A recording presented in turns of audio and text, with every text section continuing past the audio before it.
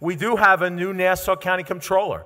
Uh, he is clearly he's been the city of Long Beach city manager for quite some time, uh, and we certainly know him over in Brookhaven. But he ran a spirited campaign uh, and cares a lot about smart growth and lived through Sandy uh, in, in, a in a really amazing way. Uh, so Jack Schnirman's here to, for folks who don't know him, uh, to do a quick introduction before we hear from our Nassau County exec-elect.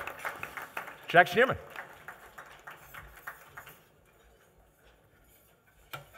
Thank you, Eric, and thank you for the work that you're doing, and thank you to everybody here for the work that we're all going to have to do together in order to move not only Nassau County but Long Island forward. So give yourself a round of applause, everybody, for what you've been doing.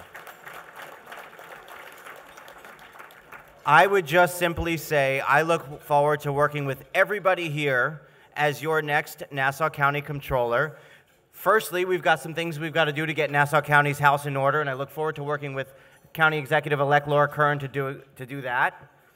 And then we are looking forward to making ourselves available in the Comptroller's office to assist other municipalities uh, around Nassau County to, uh, to become more efficient and to work with everybody here to create the kind of economy, the transportation, the infrastructure, and the kind of job creation that we all need together. Thanks, everybody. Looking forward to chatting with you.